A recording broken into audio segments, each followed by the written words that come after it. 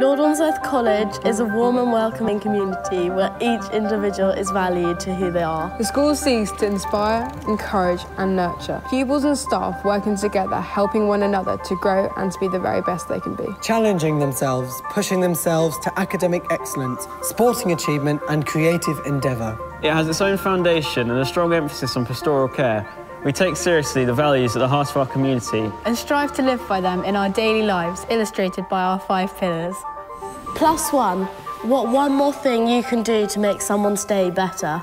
Opening a door for somebody, saying hello, or even if it was just making somebody a cup of tea, making somebody's day is really important. Just being a helping hand to somebody. A community looking after people is really important. All the years are really integrated. You help each other. It's always really nice when someone new comes and you just help them unpack, show them around the school. It's really rewarding.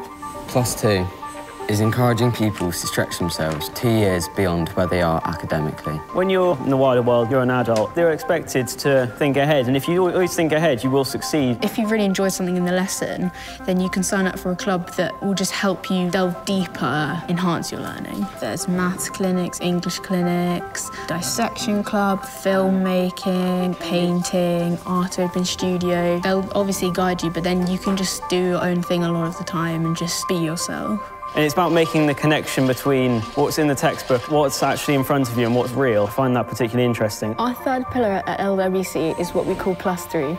It's welfare, well-being, and good mental health. One of the best aspects of Lord Wandsworth College is the pastoral care. The culture in the boarding house is really inclusive. It's the whole house as a community. Someone younger than me actually really helped me when I was probably going through something that was quite challenging. It makes me feel very happy in the boarding house. I feel like I have a really strong bond with everyone. A house social is basically on a Friday. We have a kind of gathering. It's a really good way to like de-stress after the week. It's really important to get the fine line of seriousness and having fun. When I'm on the pitch, I just feel so exhilarated. Exercise makes everybody feel amazing. Give me a step back from everything and being calm, relaxed, and being able to just express myself. And the matron is like the motherly figure in the house, an ear to listen talk about our day with like a bunch of girls and then she makes hot chocolate for everyone and it's just a gesture of love. You create this amazing bond with everyone. Pupil voice is when pupils have a meaningful positive input and impact within their environment. I was part of the dining hall committee. A group of us helped design the interior, exterior for the new dining halls. It's been a really good opportunity for us to all put in our input. This is real. Your ideas are going to be taken really seriously obviously it's a really big role of responsibility.